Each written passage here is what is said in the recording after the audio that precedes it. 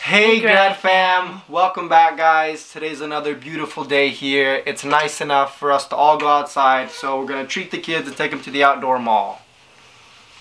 Yeah, and later I'm going to tell you guys why I might be giving birth in a few weeks. You guys might be meeting the triplets in a few weeks. It's pretty exciting. So stay tuned guys.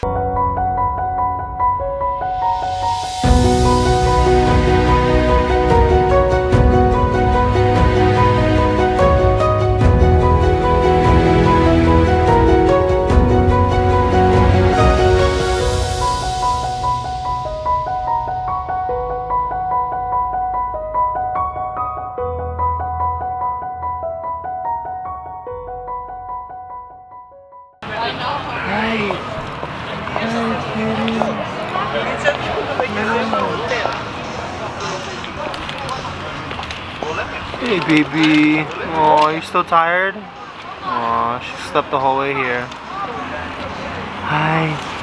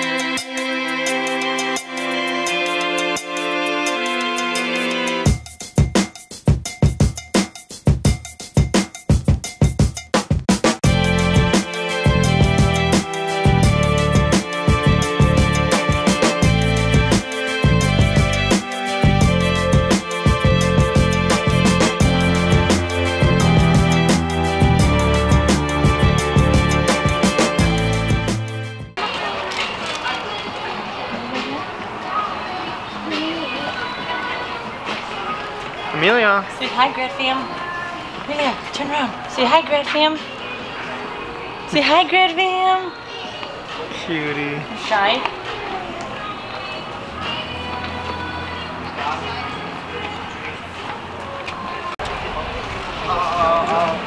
Mmm, they're good.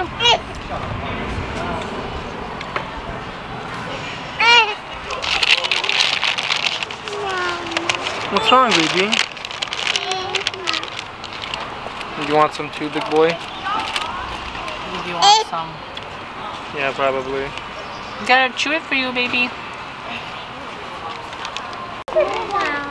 No? It's good. Wanna try it?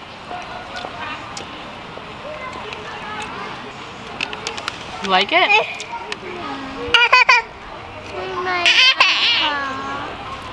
Don't worry, you're next, big boy. You're next. You want Appa? Oh yeah, you know where it is. You know where it Loves is. Water.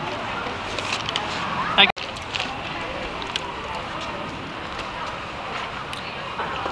Do you guys vlog? Mama watches. cream cheese with pretzel. Yeah. You like it, baby? Yummy? She's acting so shy. But she just woke up from her nap. yeah.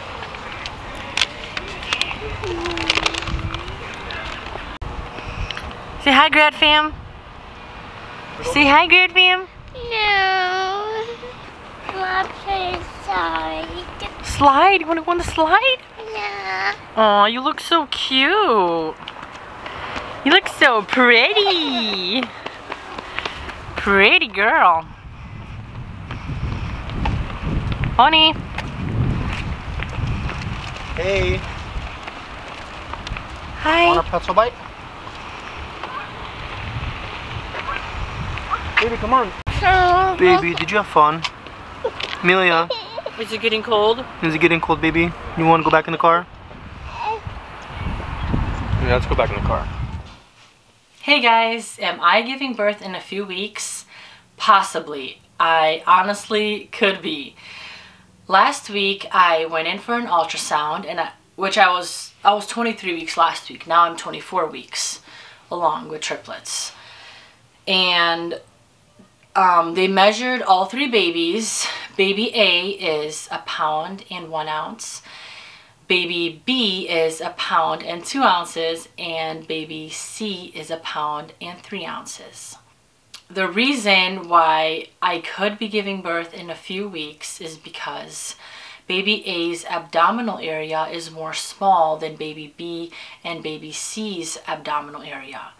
One baby is not taking more blood from the other baby, so that's a really good thing. They're all getting enough blood. They're just sharing all this, they're all sharing the same nutrition from the same placenta. So that's why baby A's abdominal area is a bit more small since baby B and baby C are probably most likely taking more nutrition than baby A is getting. So last week when I went in, after I was told this, my doctor told me that if it continues like this and baby A continues not to grow as big as baby B and baby C, that the babies might have to be taken out within a few weeks. And I'm only 24 weeks right now. And just thinking about me, like just giving birth in a few weeks scares me because I'm only like a little over five months they're to be like six months. I'm to be only six months when the babies, if I were to give birth in a few weeks, which is pretty scary. Um, there's so much to prepare. Um, we're trying to have everything ready like by the end of April just in case. Um, we actually bought a lot of things already. The triplet banker was a big help. Uh, thank you for thank you to everyone who showed up. Thank you for all the gifts and thank you to everyone who took part in the baby registry as well. Thank you guys so much. We really appreciate it. It was a big help. And uh, for now, there's like a bunch of baby stuff all over the place since we're still living at my parents' house. Um, so it's a little hard. It's going to be really squishy here with the triplets. We really want a house, but we don't know when it will happen. We're hoping this year. But for now, we're here and we're to have to try and make it work with the triplets for now. So, yeah. But anyway, I don't want to get off topic. Um, since baby A's abdominal area is more small, the doctor rec recommended me to get a betamethasone shot. I'm I I think I pronounced that right. I'm not sure, but um he recommended me to get that shot and it's basically a steroid a steroid to help the baby's lungs mature faster in case they need to be taken out sooner so they can breathe better once they're out. They're going to be premature either way. My doctor said he would love for me to make it to 33 weeks and up. Like he really wishes I could. It just depends on the babies and how they all grow if I can make it that far, if they can make it that far. So I got a shot right after the ultrasound. They gave me a betamethasone shot and then right the next day I had to go back again and get a second shot. And then this week I went again for an appointment which I'm 24 weeks now in a few days and I had to get the shot again um, first appointment, got the shot again right after my appointment. And then the second day, had to go back again and to get the second shot.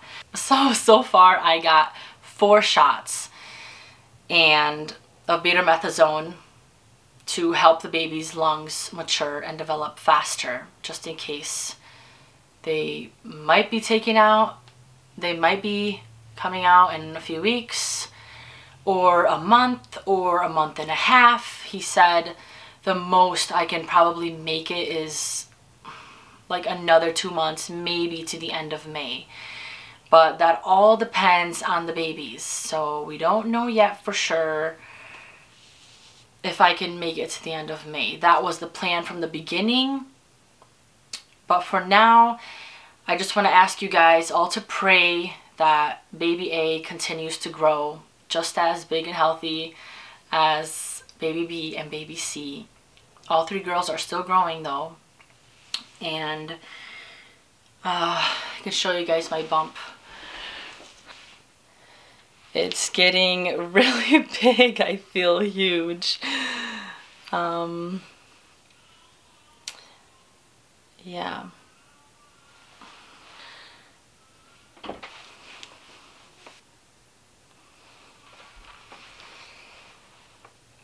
So for now, we're just trying to prepare everything for the triplets and have everything ready by the end of April, just in case these babies do come, which I will be like 28 weeks around the end of April.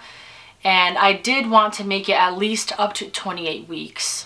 And as of right now, since I am 24 weeks of triplets, um, my symptoms are basically I get a lot of heartburn, I get a lot of sharp pain in my pelvic area, under the belly, um, everything just pushes up in my ribs. I can't eat that much because everything gets pushed up and I get a lot of heartburn all the time, throughout the day, throughout the night. Um, I have to pee often, like all the time.